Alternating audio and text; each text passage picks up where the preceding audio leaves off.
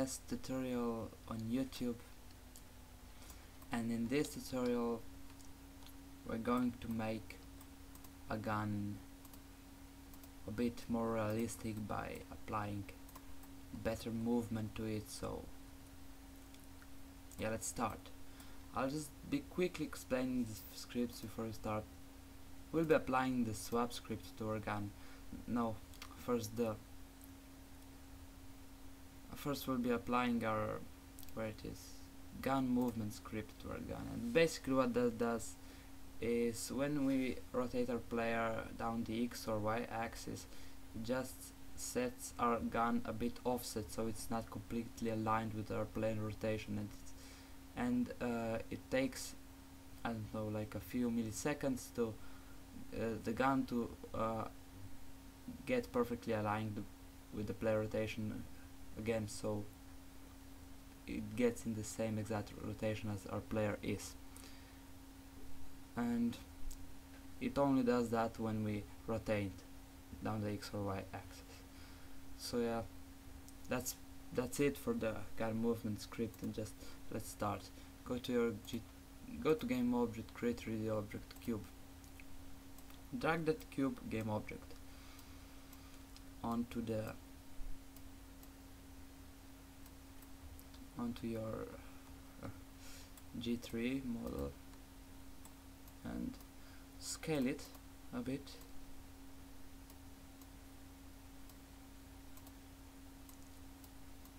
Mm, the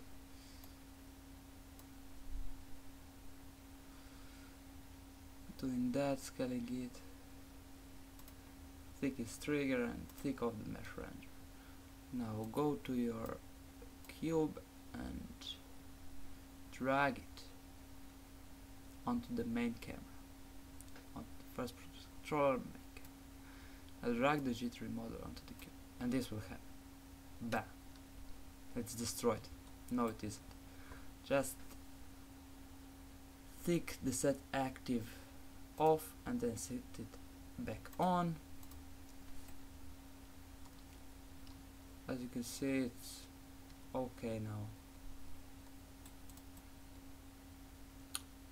Yes it's okay. Now go to that cube and just add uh, just make sure your cube's rotation onto the x and y axis. Now the z z doesn't really matter it's set to zero.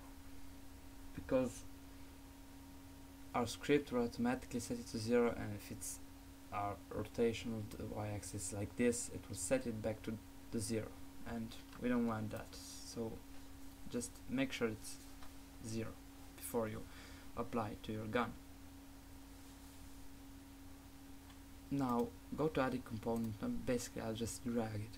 Again movement and yeah I'll just set the equal point to the set 10 the equal point is just uh, it's a variable for uh, for uh, I named this you, you, can name it whatever you want I just named it equal point because it's a point.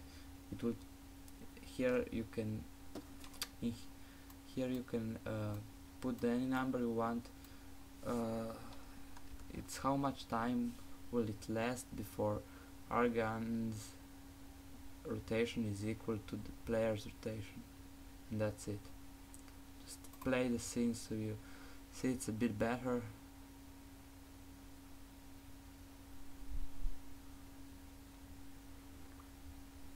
As you can see it's moving.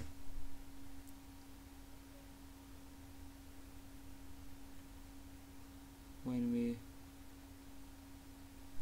move it moves.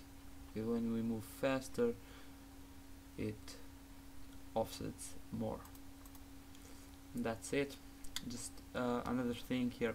Go to your G3 model and remove all the animations. Just uh, uh, let uh, leave the animation on your cube 1 go to your cube and now add a component animation. We'll set it to size 1 play automatically set off and non animation just go to window animation. Add a curve. And name that cube I'll just replace that because I don't need that probably I'll just change the rotation on the 0.05 seconds a bit and to 0.10 seconds I'll change it again to the same exact point as there. It's uh, not exactly the same but it's okay. Got put the cube again in and here also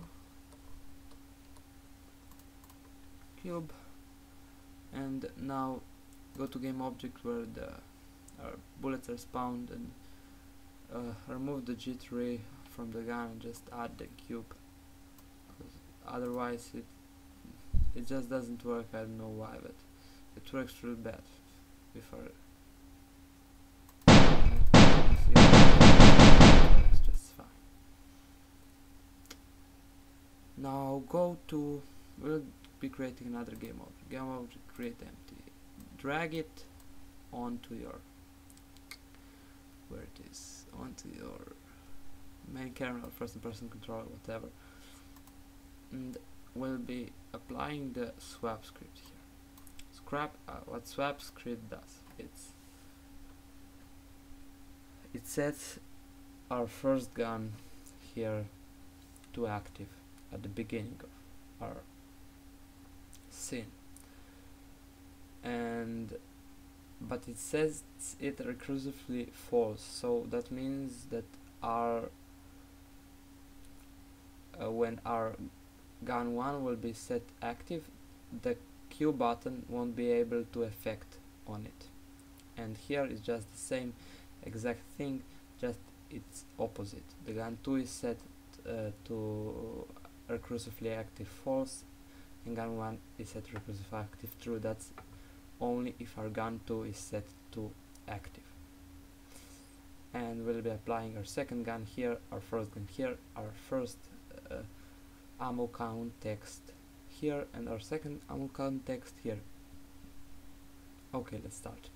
Go to your game object again uh, and go put your first gun mine is G3 model onto the gun 1 and I have a pretty brand new one model I made in Blender and I'll be applying uh, you can you'll be able to download it from the Dropbox link I'll be putting into the description. It's right here. I it to active that you can see what it looks like. I applied some Call of Duty textures on it so it looks more cool I know it looks like you know sick alien gun and uh, it looks pretty cool. Mm. Yeah, I'll be setting an active now. So I'll be starting with jitter mode. Now go to your game object. Apply first gun. Apply the second gun, which is our cube 2 and here is my GUI text for the first gun. Its ammo context as we made in the first tutorial. Uh, apply to text 1 and here's our my second gun uh, text for the Beretta. And to apply to text 2 I could just set that to active also. No it doesn't have to be. Uh, it's just cool and now when I play my um, uh, game, when I press the Q button, it swaps. As you can see, it swaps. And I have it looks pretty cool.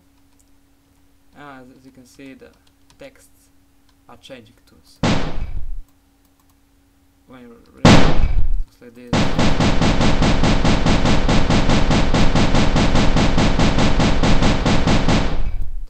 time.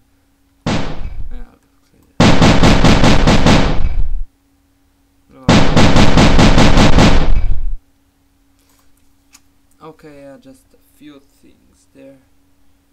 Yeah, I'll be also including a new model a new shotgun model I made in Blender.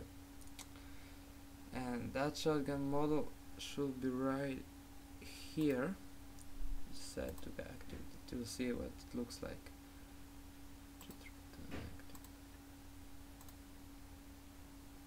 And it looks like this.